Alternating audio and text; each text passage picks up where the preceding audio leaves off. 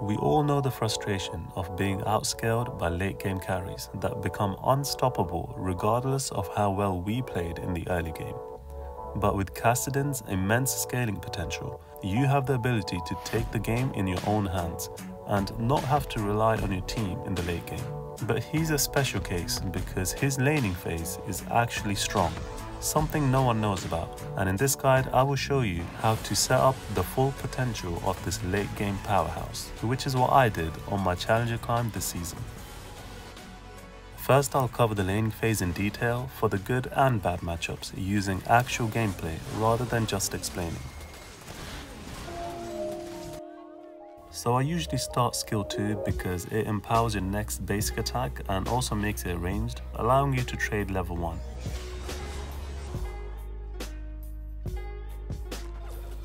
Which you can also use to bully melee champions if they step too close.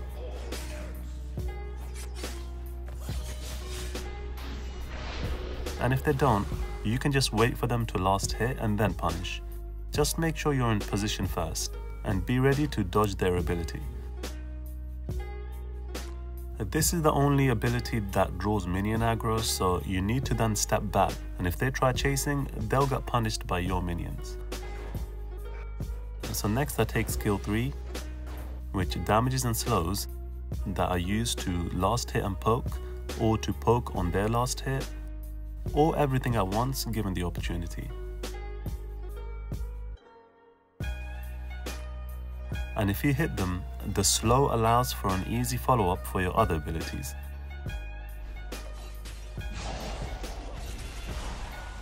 Including skill 1, which is a long-range silence. It's a single target skill shot so they can just stay behind minions to dodge. But skill 3, the slow, is shorter range. So here when I try punishing his last hit a bit late, he just steps back out of range. Because of Kassadin's weak early game wave clear, you will often get pushed in. I can't follow because this is 250 gold, which is almost a kill, and half a level of experience. So I kill it as fast as possible to help the team out if needed. Lee is forced to give up blue, so I rotate to Gragas, who's trying to counter our blue because he knows that our jungler can't get there in time. And he doesn't see me coming and smites early. My Yasuo also followed up with me because Gragas was on vision. But here, we encounter Kassadin's biggest weakness. This kind of poke is great for lane, but in a long skirmish, you're not the most useful champion with your useless melee attacks. Even if you get the second rotation of your spells, they're only good for short trades in the lane, but the overall damage is not enough for a real fight. This is true even for lane, so it's important to keep your trades short and then back up into your wave for safety otherwise they will out DPS you. So here we should have just accepted the blue buff and his flash and backed off because after that I'm useless and that's a level 3 Urgot who's got really good consistent damage. Now I'm late to lane so I'm forced to once again deal with the minion wave while Corki can roam so I spam ping them to retreat and then fast push the wave to force the Corki back. And at this point with ultimate, Kassadin becomes a straight up lane bully because it's pretty much a longer flash and it damages wherever you land.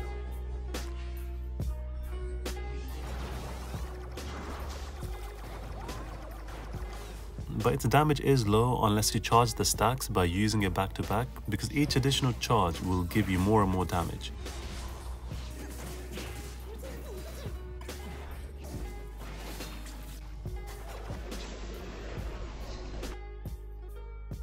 But it will also increase its mana cost and by a lot. So at 2 charges it costs almost half your mana in the early game. So you probably don't want to miss it. And at 3 charges it will cost almost all of your mana, so definitely don't misclick it. But in most situations, just wait 12 seconds to reset the stacks back to 0 before using it in the early game. So it's important to be at the right stack at the right time because you can use your ultimate to get to a fight quicker.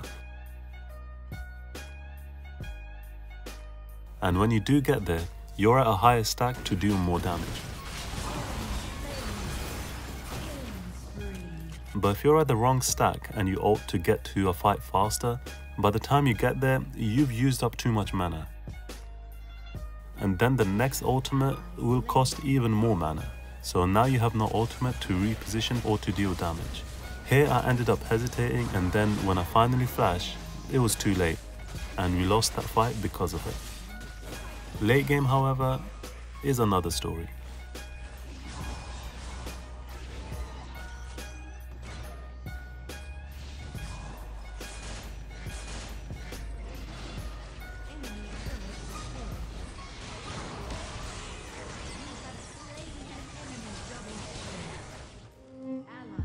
A tip for your first item. A Rod of Ages gets stronger with time. So you should back as soon as you can afford it, rather than staying on the map for more gold, even if it would otherwise be the correct move. But I made the mistake of backing too early, so I have to go again. And because of that, Corki gets another free roam. So to punish by denying the wave to his tower, I end up using my ultimate charges and too much mana to fast push the wave, so now I can't ultimate to the fight.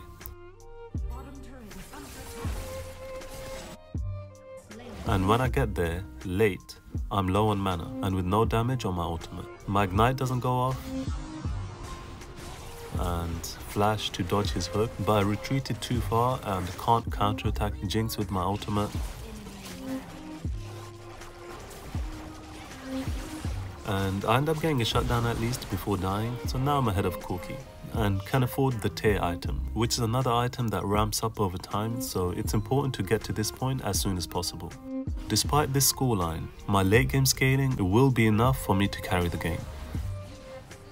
And by the way, I want to thank everyone that supports my work on Patreon. It really is helpful because it actually motivates me to spend more time on making guides. So thank you and I will do a quick rundown of this full game so you guys can see what a late game Kassadin looks like and plays like, but the tactics for the mid and late game will be covered properly in part 2 of my Kassadin guide, which is currently up on Patreon for early access before I release it on YouTube, and the link for that is in the description.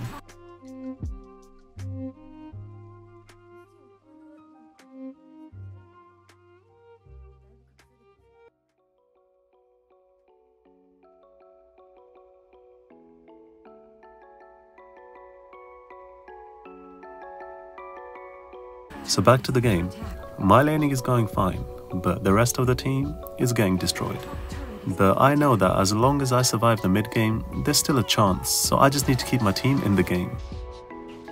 So I respawn and see top lane is low, so I ult my way up there as fast as I can.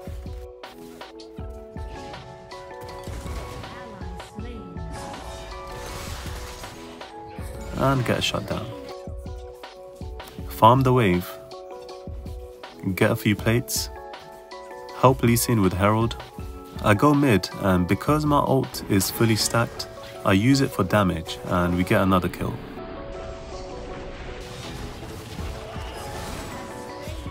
But the rest of the Fed members arrive and kill us both, and then take mid tower to make things worse. However, now I have my two scaling items, so from here I will only get stronger. And next I go to cover bot, take the farm and stop them from taking the tower, go back and clear mid, and rotate top and try catching the Corki.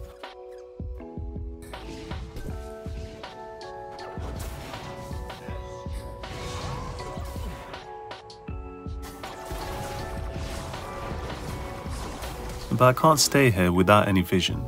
And here I went back in for a kill because my ult is fully stacked.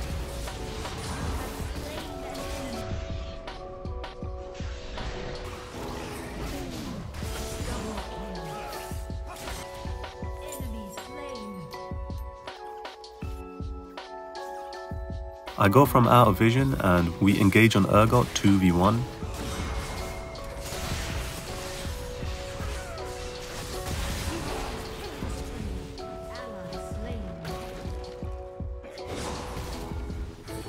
but then I get overconfident and get baited by Gragas, which is the last thing you want in the mid game where Kassadin should be farming for levels and gold to get to his late game quicker. Next I go for Deathcap before finishing my boots because having enough damage to finish off kills is usually the best way to make a comeback.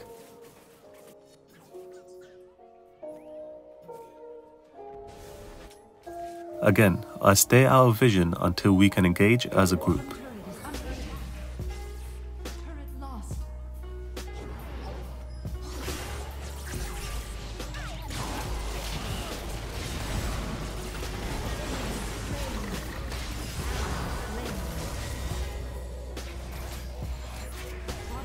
Then I go and defend bot tier 2, but I'm still not a late game Kassadin yet, so I still can't fight bruisers such as Urgot.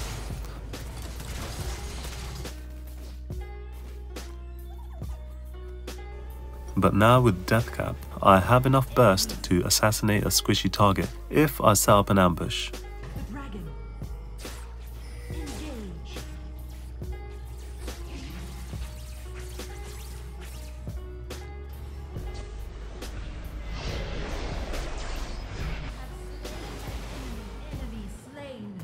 I flashed on Urgot because I thought my team was gonna follow up, but it's fine, we can just take the free dragon.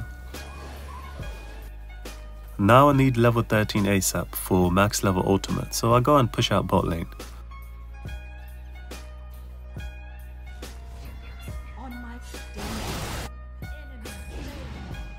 And this game is from when Urgot was newly released, so I wasn't aware of his CC, and I got feared into chain CC.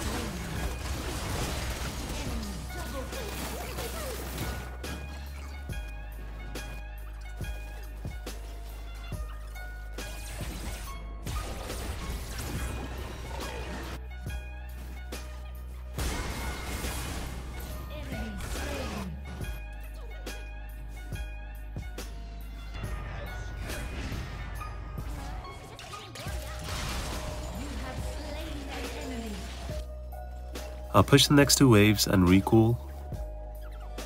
Head to mid where Urgot is trying to shove the wave and because I have follow up with me, I can fight Urgot and Lee Sin makes another great play and we just follow up the damage. But then I mess up with over aggression by ulting right into a charging hook and again get CC locked before my team can respond.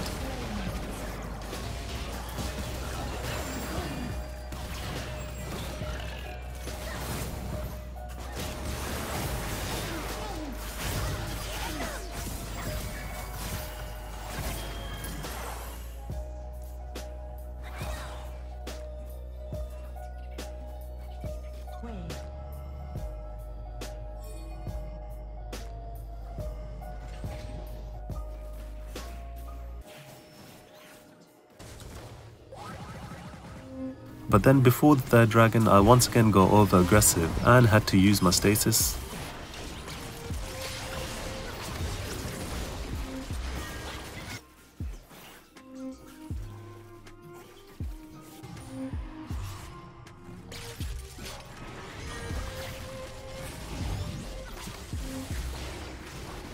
Lee Sin fails a play on Urgot with Guardian's Angel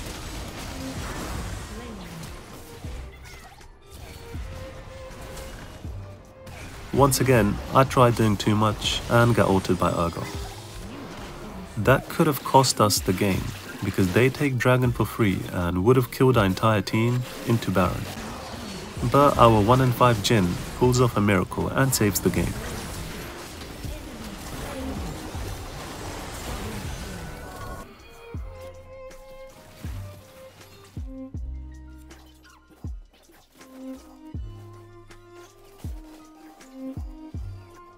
I get back out there, shove a side wave and try staying out of vision and look for a flank.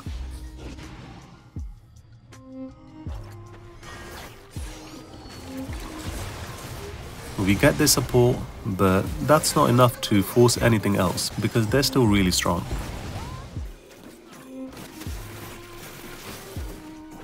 So I go and shove a side lane again to complete my build. And now I can pretty much blow up any squishy target that gets close to me.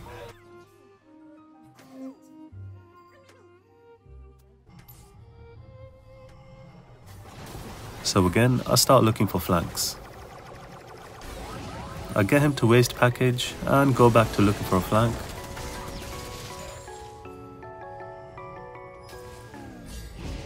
Which they've now started to ward and cover so I go all the way around to look for a completely different angle where I see an unsuspecting Corki, so I stay out of vision until I can ambush.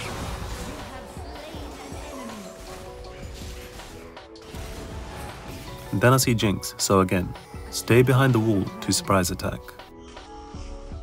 She survives with barrier, flash and stasis, but the teamfight is already over with both of their carries taken out of the fight.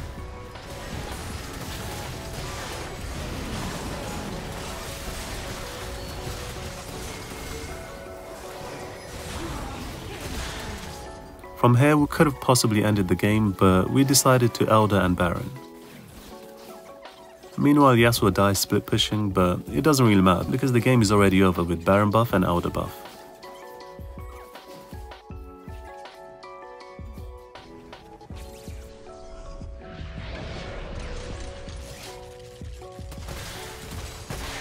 But I didn't go into detail of exactly what to do during the mid and late game because I want to cover that properly in a full dedicated video. I just wanted to show this full game so you can see what a late game Kassadin is capable of.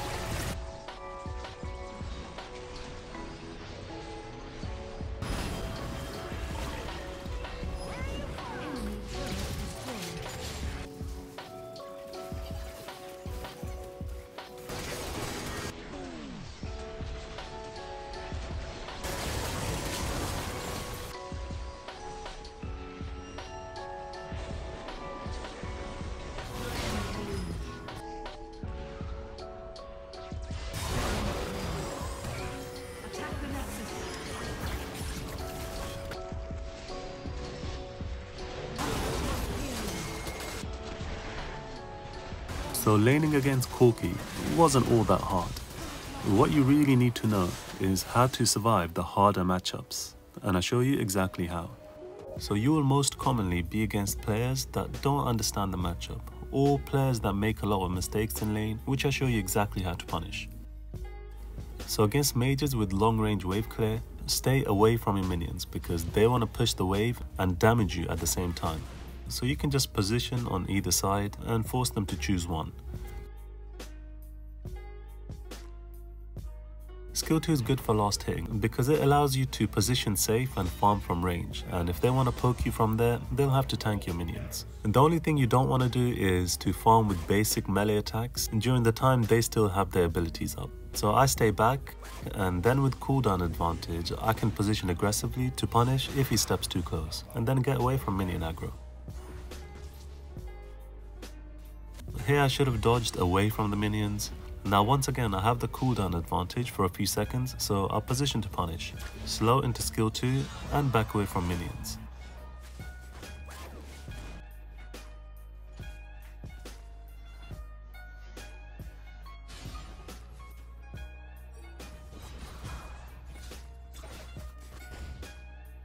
I stay back to dodge his long range poke and repeat the same trade with the cooldown advantage then dodge the return damage. Now I'm healthy enough to stay in an aggressive position to punish if he gets close. So skill 3 becomes empowered at 6 stacks, which are charged when other abilities are used near Kassadin, either by him or anyone else. So now it does 40% more damage and slows for 90% instead of 30 for 1 second. So right here, even though I could zone him away completely, I let him think that he can last hit, and so when he comes close, I time my forward movement to catch him. I don't go for the kill with Ignite because he's using barrier. I see the junglers fighting and because I have lane priority, I can rotate first. But I get there and fat finger my flash instead of skill 2 and get us both stunned and killed. Anyway, back to the laning. The Ziggs failed to fully crash the wave into my tower, so I can just freeze, forcing him to overextend, which I can now punish much easier with my ultimate. Wait for him to use an ability so I can dodge with my ult, then slow so I can land my other abilities easier, and dodge his abilities. And by the way, his counter attack was late because skill 1 is a silence, which prevents them from using any other skill, so I only start sidestepping after his silence ends and my slow got charged up from all the abilities that were used and I repeat the same with an empowered slow as soon as he gets close to using the ability.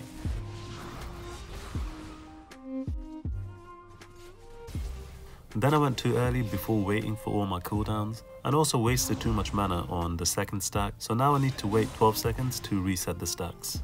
He still doesn't recall Probably because Ziggs can normally farm from a long range, but not against Kassadin, which he should have learned by now. Again, I step back to make him feel safe enough to farm, and ult as soon as he comes close.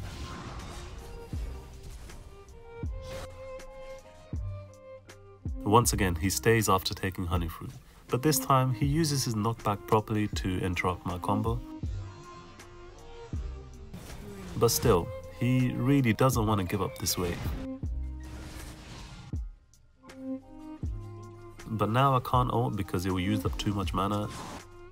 And then I would have kept denying him everything if he didn't get saved by someone.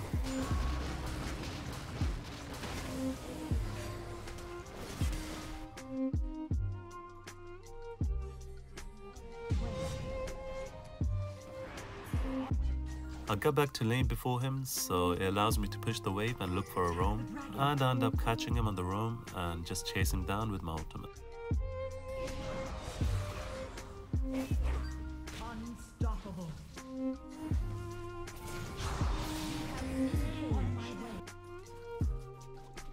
So at this point, no mage can really go against Kassadin, and I just keep chunking him down every time he gets close.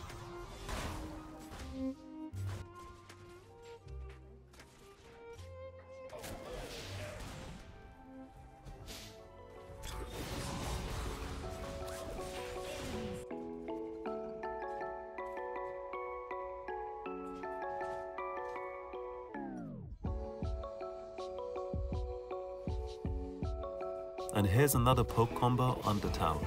Wait for the next tower shot, and then silence into slow and ult away.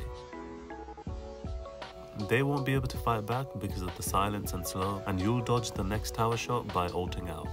My ult is on cooldown, and he probably knows this, but still I run towards him early, just to prepare my position for my ult cooldown. Because if I kept running away, I would have been out of range by the time it cools down. This will throw a lot of players off if timed correctly. So next I can just simply ult flash for the kill.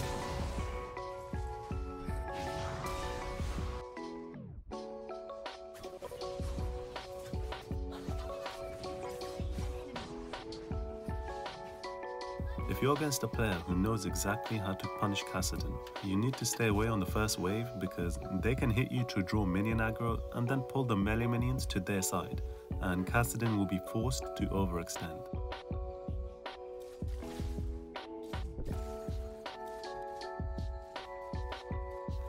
which is why in a similar position, I stay away and force her to overextend to basic attack.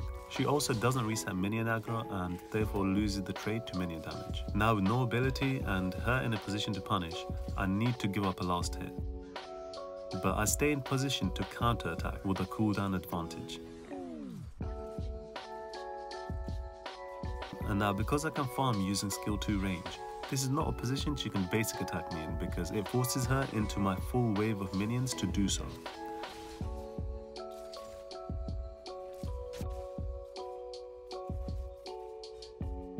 I fail a few last hits, which is fine because this is a matchup I outscale really early, as soon as I get level 5, which you'll see. So all I need to do is survive until then.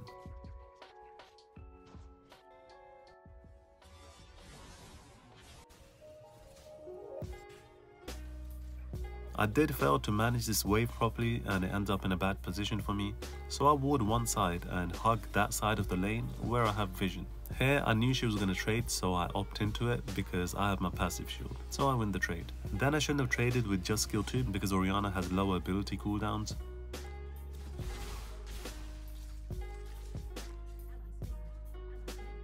I tried to hold the wave to recall on the freeze but but I just about fail it, so now I have to fast push before recalling. And now with ultimate, here's the outscaling I mentioned earlier. I wait for a skill and blink over it. This is a trade that I can keep spamming with my passive shield, and she will never win against it without jungler's help. and it will only get worse as I build my ultimate stacks. So that was supposed to be one of the harder AP matchups. What about the easiest ones, against AP melee champions? So here's another one who plays aggressive to punish the weak early game Kassadin. And this Akali was about to one-shot me so I flashed. She's positioning aggressively so I trade, but didn't want to tank a secondary attack from her skill 1. But I end up greeting for the minion, but she makes the mistake of prolonging the trade into my minions and ends up losing it. And then I block her next ability with my passive shield using skill 2 and I step back into the tower so she can't follow it up but I had to give up another minion. Skill 3 to last hit and poke at the same time as her last hit. She keeps forcing trades where I can safely counterattack and as soon as she lands her ability I instantly run to my tower in case she follows through, which she does. Okay, so that was a player who was over aggressive and forced trades. What about someone who doesn't play over aggressive? So a trade with the passive shield will always be a win, especially when using bone plating. Now I need to be out of range of her ability which has a lower cooldown, so I pretend to go for this last hit, and now I have the cooldown advantage, but she baits me in the same way.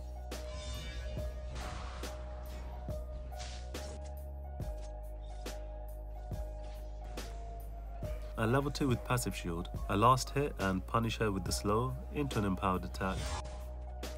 And now with no cooldowns, I bait another last hit and dodge back. Then position up with the cooldown advantage.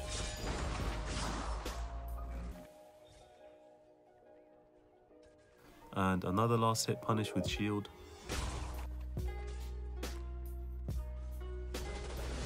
Try helping my jungler but end up wasting my ignite.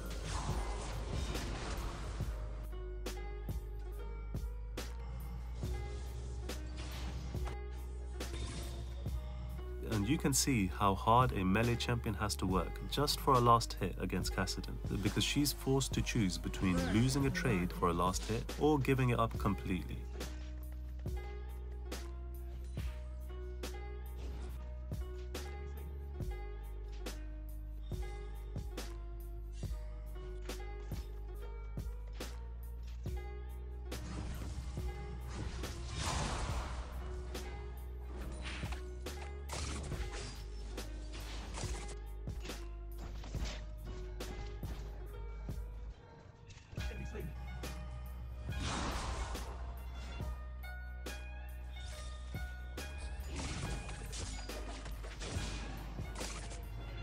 Here I missed out on a kill by moving too far back, but she doesn't want to lose an entire cannon wave, so she stays and tries to predict my engage to outplay me, which is exactly what I was waiting for. So you can pretty much use these similar tactics against all AP champions, with slight variations. However, the same trading style does not and will not work against most AD champions, because your magic shield is useless, and their basic attacks hit much harder, Yone is like an AD version of Kassadin because all his abilities are ranged and I can never use skill 2 without tanking his ability. He can punish me for every last hit, putting me under pressure so I end up missing a lot. But because Kassadin always gets pushed in in these matchups, it makes your enemies vulnerable to ganks. So even if you play horribly, as long as you're not dying, you can keep them pushed up and eventually they will get ganked if you have a decent jungler.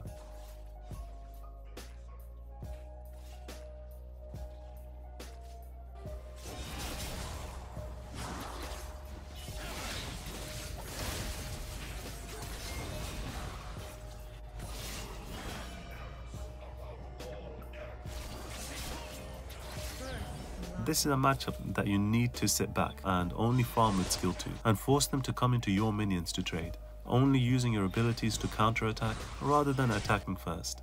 Unless of course they waste their cooldowns and misposition.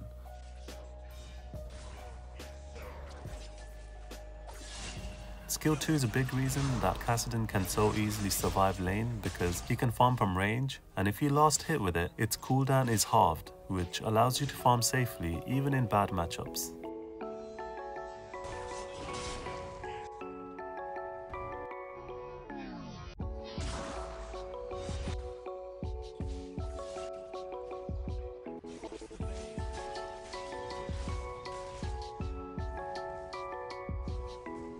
So in this lane, I stayed healthy enough to follow up on the jungle fights, but again, I need to be mindful of my early game weakness, especially after using my abilities. I decided to turn on Yone here instead, assuming his HP was on kill range, but I didn't realize that he still had his shield, which I didn't take into account.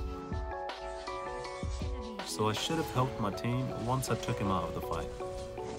But still, I survived a hard matchup just by farming safely and punishing his over-aggression.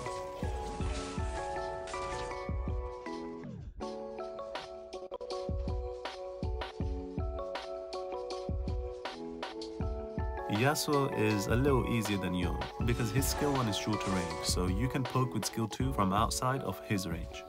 But the defensive playstyle remains the same because his passive shield and bone plating will mitigate most of your damage, which is already low in the early game. However, you can find comfort knowing that just by staying even, or at the very least by surviving, you're outscaling everyone on the map. In fact, it's the enemy team that will feel pressured to shut you down because the clock is ticking for them.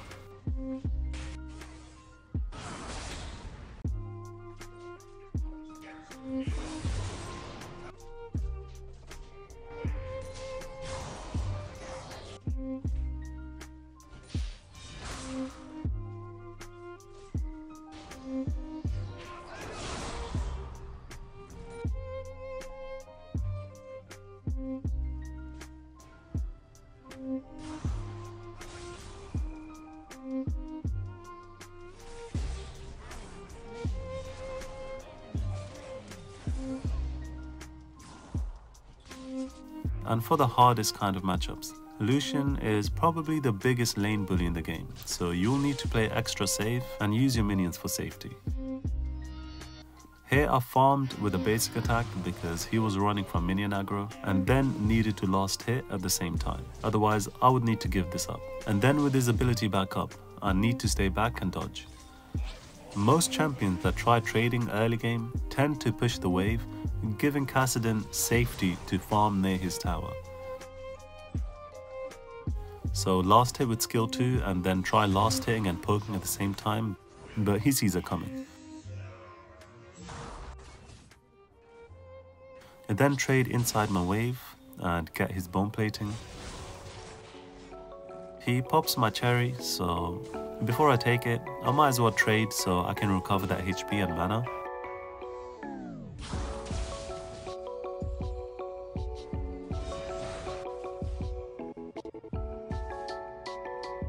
Here we both need to last hit, so I can finally get a good trade with his bone plating down.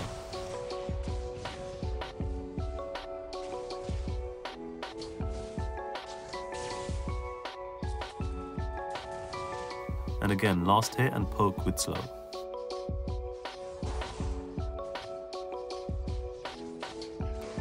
He fast pushes to recall, so I do the same. And I've successfully survived a terrible matchup by farming safely and fighting back against his aggression.